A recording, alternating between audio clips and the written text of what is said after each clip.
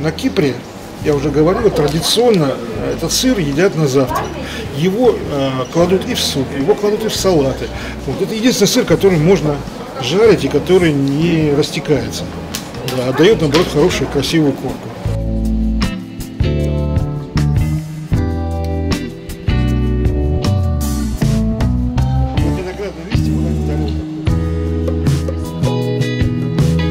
Это сыр для души.